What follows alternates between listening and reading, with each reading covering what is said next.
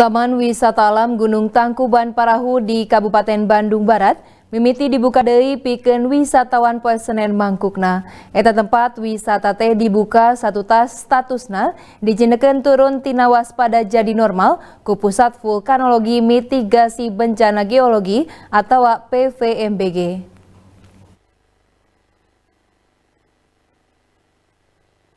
Salila tilu bulan ditutup kiwari sababaraha kendaraan wisatawan mimiti tembong ngadareg deka Taman Wisata Alam Gunung Tangkuban Parahu Kabupaten Bandung Barat Pesenen Mangkukna.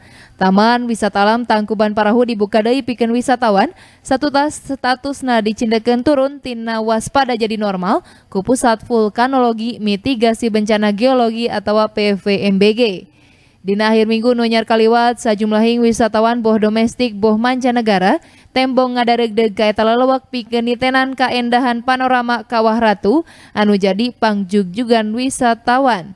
Lianti wisatawan sawatara padagang oge mimiti ngalakonan kagiatanana sabihara sabihari deui turta maruka lapak daganganana.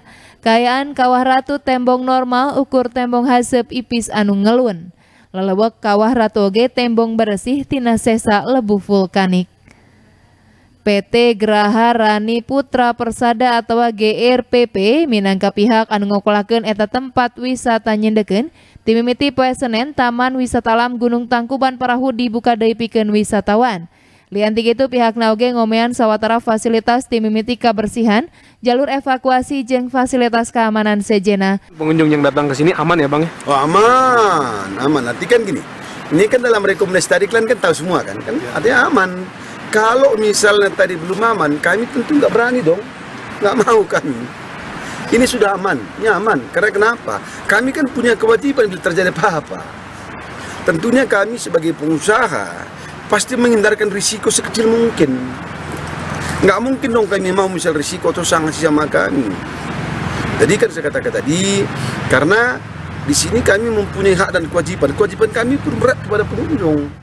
PT GRPP nyendegen gayaan TWA Gunung Tangkuban Parahu kiwari aman pikeun didaregdeg wisatawan. Sanajan kitu sakumna wisatawan diperdih tuhu kana aturan di eta tempat sakumaha surat rekomendasi anu dipedalkeun ku PVMBG. Algi Muhammad Gifari, Bandung TV.